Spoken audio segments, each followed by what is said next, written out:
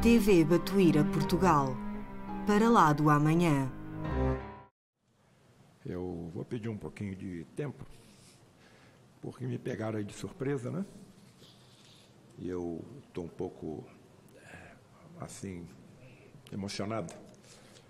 É, puder recuar a primeira imagem, eu, se for possível.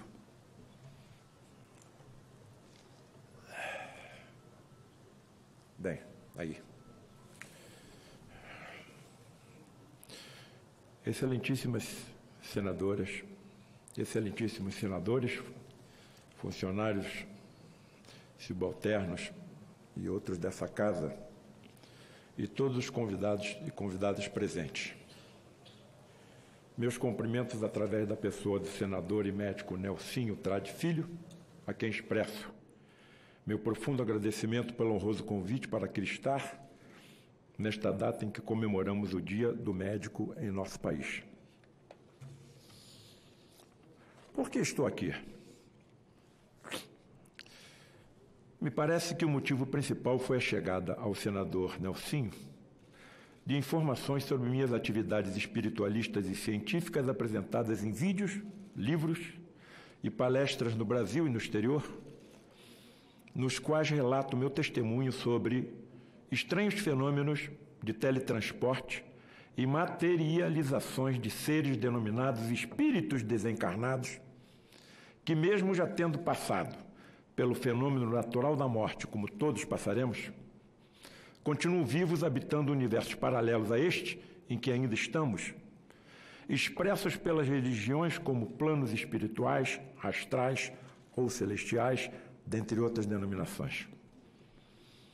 Tais ocorrências, por mim testemunhadas, que exigem a manipulação de um fluido de alta potência energética, expelido pelos chamados sensitivos ou médiums de efeitos físicos, presente em todo ser vivo e denominado por Charles Richer, descobridor da resposta anafilática humana como ectoplasma, foram por mim presenciadas, estudadas e pesquisadas ao longo de quatro décadas no Lar de Frei Luís, o maior centro espírita do Rio de Janeiro, que aqui está na imagem projetada.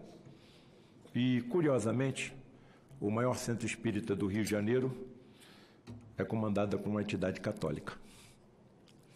Ainda assessorada por outras duas entidades católicas, Frei Leonardo e o Padre Isabel, onde deduz-se facilmente que nós é que nos dividimos em evangélicos, em católicos, em espíritas, em protestantes, em hinduístas, maometanos, ateus, os judeus, etc. Eu acho que para esse tal Deus que eu não compreendo, por enquanto só sei que ele existe, não existem essas divisões. Nós é que nos dividimos, mas na realidade somos um único rebanho, um único conjunto familiar, comandado por um único pastor.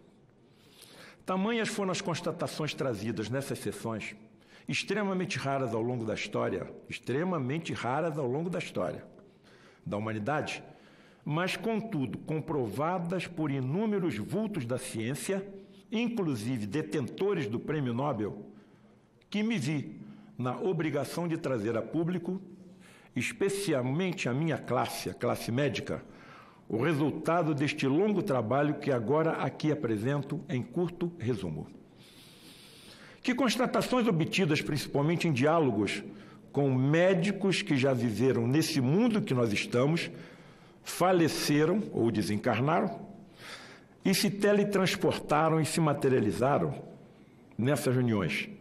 Evidentemente, agora habitam outros planos de existência para onde nós nos transportaremos quando chegar o momento. Que constatações obtidas foram essas? Somos todos seres imortais. Segundo, o que denominamos corpo físico é, em verdade, um veículo transitório que necessitamos para interagir com esse universo. A vida, porém, não está na matéria a qual tanto valorizamos. E, assim, transmitida esta pelo componente extrafísico, imaterial, energético e imortal, denominado alma ou espírito. Terceiro, não é a primeira vez que aqui aportamos e nem será esta a última. A reencarnação é uma verdade consolidada. Ninguém poderá ver o reino de Deus se não nascer de novo. Poderemos retornar em qualquer nação, raça, regime governamental, família, profissão, religião ou sexo. Todas essas verdades, mais cedo ou mais tarde, serão comprovadas pela nossa ciência, lançando definitivamente por terra as motivações, as, motiv as motivações que levam às guerras, desavenças e intolerâncias de toda espécie. Nossos equipamentos médicos já utilizam a antimatéria no escrutínio dos corpos humanos e se acham em célere avanço na detecção da sobrevivência e imortalidade da alma. Diante de tal constatação, por que investir, por exemplo, no comércio de armas, já que a morte não existe? Quarto, nossa evolução é acompanhada e vigiada por um governo imaterial e espiritual, comandado por um Cristo planetário há 5 bilhões de anos. Seu nome? Jesus.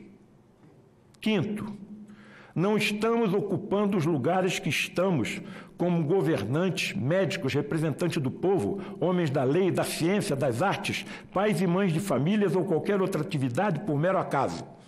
O acaso não existe. Sexto, muitas das doenças que nos acometem não têm origem nos corpos físicos, e sim no componente extrafísico espiritual, onde estocamos as impurezas geradas pelos vícios, seja qual for, e o mau cumprimento dos deveres para com o próximo, nessa e em vidas passadas e que assim se exteriorizam através de enfermidades como, por exemplo, o câncer.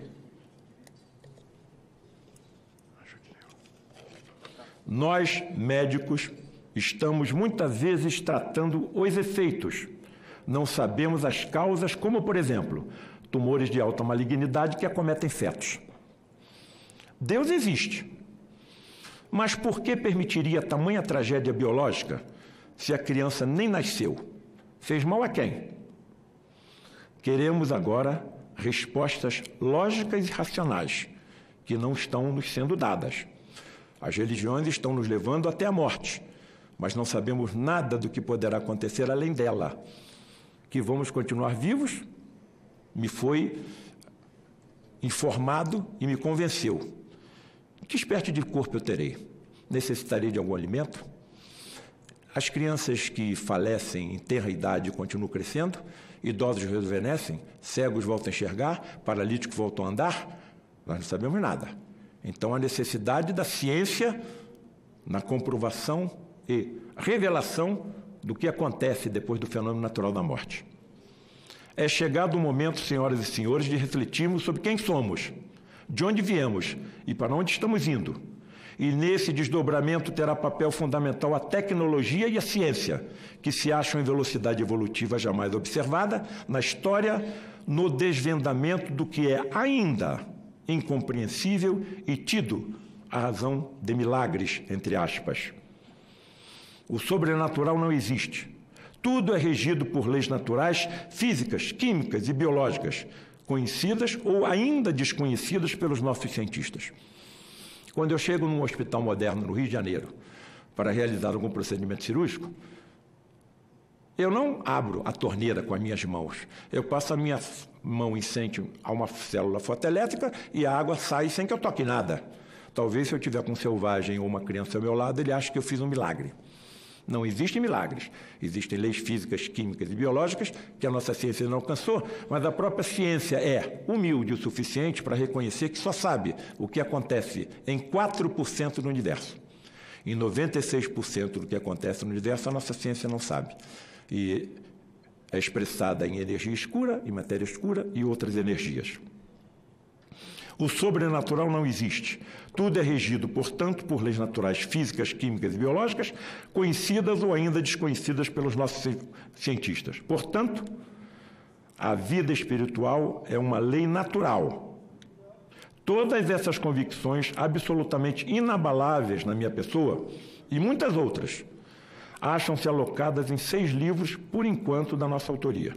No primeiro, denominada face oculta na medicina, e no quinto, a medicina mediúnica do futuro, demonstro que nenhum médico da Terra que honre a sua profissão jamais estará sozinho, nem mesmo os que não acreditam nessa verdade. Há pouco tempo conversei com um colega, talvez incluído nesse grupo, e indaguei a ele: colega, é, você tem ideia de quantos pacientes você já operou? Com a maior tranquilidade, uns 23 mil. Então, mais uma vez está comprovado, no meu entender, que a conduta é mais importante do que a crença. Enquanto cuidamos dos corpos materiais dos nossos pacientes, colegas dos universos paralelos ao nosso cuidam do seu componente extrafísico e nos intuem mentalmente que atitude tomar. Tamanha sua humildade que não nos permitem sequer perceber seu auxílio, deixando o mérito e a glória da vitória sobre as doenças inteiramente sobre os nossos ombros. Porém, ouso afirmar, ouso afirmar que sem esta ajuda imponderável aos nossos pobres cinco sentidos, muitos dos sucessos por nós alcançados no tratamento das doenças não seriam alcançados. Mostro agora uma imagem onde os senhores veem a fotografia de Frei Luís, um frade franciscano alemão que veio para o Brasil na primeira metade do século XX e se radicou na Serra do Rio de Janeiro, na cidade de Petrópolis. E à esquerda mostro um desses médicos que já teve um corpo igual ao meu, passou pelo fenômeno natural da morte e, sob condições especialíssimas e raríssimas, com manipulação de tremendas quantidades de energia, pode se teletransportar e, durante alguns momentos, se materializar no nosso meio. Tanto está materializado que impressionou uma chapa fotográfica. Nitidamente se nota nas mãos desse médico um lírio. Quando ele se teletransportou e se materializou e foi fotografado, o lírio foi uma homenagem ao Frei Luís, que quando habitava um convento na cidade de Petrópolis, era quem cuidava dos jardins do mosteiro. E ele adorava lírios e violetas. E pelos, pelos benefícios que esse colega alemão, morto na Segunda Guerra Mundial, recebeu dessa entidade católica, ele se materializou com um lírio em suas mãos. Próxima. Os senhores estão vendo aí uma fantástica fotografia conseguida também no lar de Frei Luís, de um desses raríssimos médiums ou sensitivos, em transe profundo, expelindo pelos orifícios naturais da, do, do corpo, como nariz, boca e ouvido, essa substância fluídica ainda não alcançada pela nossa ciência e que permite que eles se teletransportem e se materializem ao nosso meio. Próxima imagem. Aproveito essa imagem para as minhas últimas palavras desse momento inesquecível. Que o Criador abençoe todos aqueles que se dedicam à cura, ao alívio e ao consolo dos seres humanos e também aos esculápios das outras dimensões que nunca nos abandonam em nossa difícil labuta.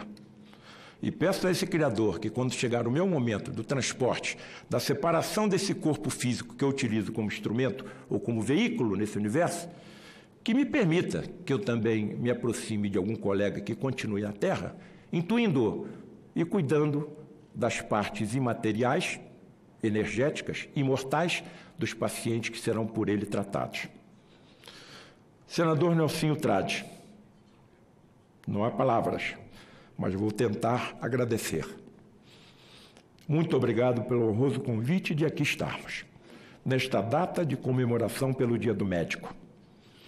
Que tenhamos a consciência de que devemos assumir nosso posto de trabalho junto aos enfermos com a dignidade e absoluta compreensão do porquê somos médicos e do propósito de nossas existências. Muito obrigado.